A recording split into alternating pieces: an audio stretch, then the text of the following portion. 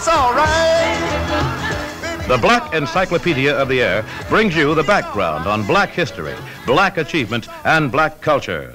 Now Stacker Lee, he shot Billy Lyon way down on there. You know, black desperados as well as white ones rode the West. Dead-Eye Dick, the hero of the first Western novels and the model for the Lone Ranger, was a wild black buckaroo named Nat Love. But Dead-Eye Dick didn't hold a candle to Black Cherokee Bill, born in Fort Concho, Texas. For years, he was the scourge of the Indian Territory, a specialist in train robbery, killing and loving with equal abandon. Sam Bass and John Wesley Harding weren't in his class. At his trial, hanging Judge Parker called Bill the most ferocious monster that ever stood before this bar. And on the gallows, when they asked for his last words, Bill said, I come here to die, not to make no speech. I want a two hundred dollar coffin.